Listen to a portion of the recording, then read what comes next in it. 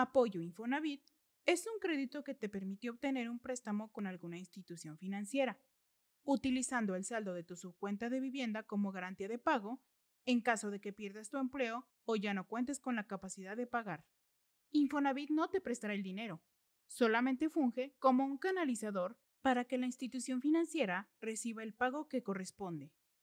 Algunos de los beneficios de este programa son los siguientes. No necesitas contar con los puntos que normalmente se solicitan con Infonavit.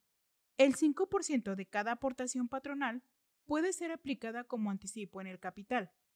Así, se podrá reducir el plazo de crédito, además de pagar menos intereses y, por ende, disminuye el pago mensual. La subcuenta de vivienda funciona como seguro de desempleo. El monto en tu subcuenta de vivienda se usará en caso de que pierdas tu empleo y hasta que empieces a cotizar de nuevo. Así no se generarán más intereses por falta de pago.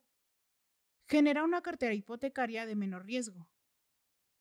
Los requisitos para este programa son no tener un crédito activo en Infonavit, identificación oficial como el INE o pasaporte vigente, original y copia. El valor del inmueble no debe exceder el máximo, el cual es 1.819.871 pesos con 10 centavos. Firmar la carta de instrucción irrevocable es necesaria para que la entidad financiera tenga una garantía, la cual será procesada a través del Infonavit para debitar el monto de la cuota del saldo de su cuenta de vivienda en caso de que quedes desempleado o incumplas con el pago. Obtener el certificado de apoyo de Infonavit, el cual respalda la solicitud ante los bancos y SOFOLES. El certificado de apoyo lo puedes solicitar en la oficina de Infonavit más cercana a tu entidad o por internet. Te dejo el link en la descripción del video. Simplemente ingresas tu número de seguridad social y la respuesta de la suma que te indican. Posterior, debes dar clic en Consultar. Te aparecerá una nueva pantalla con un resumen de tu cuenta Infonavit, tu monto acumulado, bimestres cotizados y el periodo. En la parte de abajo encontrarás el certificado para descargar en PDF.